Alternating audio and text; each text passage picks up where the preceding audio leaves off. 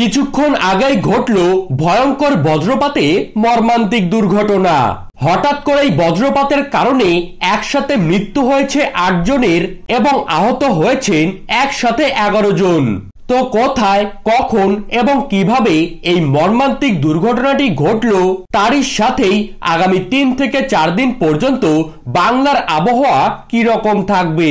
কোথায় কোথায় থাকছে বজ্রবিদ্যুৎ সহ ভারী বৃষ্টিপাতের সম্ভাবনা এবং কোথায় কোথায় থাকছে ভয়ঙ্কর শিলাবৃষ্টিপাতের সতর্ক বার্তা তো এই বিষয়ে বিস্তারিতভাবে জানতে হলে অবশ্যই ভিডিওটিকে শেষ পর্যন্ত মনোযোগ সহকারে দেখবেন এবং আপনার জেলার আবহাওয়ার যে কোনো গুরুত্বপূর্ণ খবরের আপডেট সবার প্রথমেই পেতে হলে অবশ্যই নিজের জেলার নামটি কমেন্ট বক্সে জানিয়ে রাখবেন এবং চ্যানেলটিকে সাবস্ক্রাইব করে পাশে থাকবেন।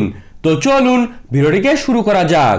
আবহাওয়া সূত্র অনুযায়ী রাজ্য জুড়ে বজ্রবিদ্যুৎ সহ ভারী বৃষ্টিপাতের জেরে আগামী দুই দিন পর্যন্ত দক্ষিণবঙ্গ থেকে শুরু করে উত্তরবঙ্গের প্রায় বিভিন্ন জেলায় হলুদ এবং কমলা সতর্কবার্তা জারি করা হয়েছে।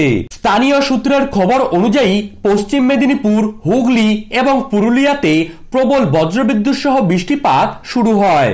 সেই সময় মাঠ থেকে ফেরার পথে প্রবল বজ্রপাতে কিন্তু চারজন চাষি ভাই আহত হন। তারপর আশঙ্কাজনক অবস্থায় তাদেরকে হাসপাতালে ভর্তি করলে তাদের মধ্যে কিন্তু তিনজনের মৃত্যু হয়। তারই পাশাপাশি নদিয়া এবং মুর্শিদাবাদের বর্ডার লাইনে প্রবল বজ্রবিদ্যুৎ সহ ভারী বৃষ্টিপাত চলাকালীন সময়ে আটজন কিন্তু বজ্রপাতে আহত হন। তড়িঘড়ি করে তাদেরকে কিন্তু হাসপাতালে ভর্তি করা হয়। ভয়ঙ্কর এই ঘটনায় রীতিমতো কিন্তু ভয়াবহ পরিস্থিতি তৈরি হয়েছে এলাকা জুড়ে। সরকারের তরফ থেকে আহত এবং মৃতদের পরিবার পিছু কিছু আর্থিক সাহায্যের ঘোষণা করা হয়েছে।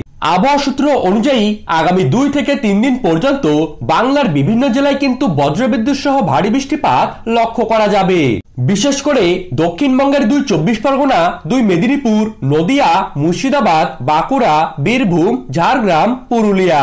এই কয়েকটি জেলায় বজ্রবিদ্যুৎ সহ ভয়ঙ্কর শিলাবৃষ্টিপাতের সতর্কবার্তা জারি করে দেওয়া হয়েছে।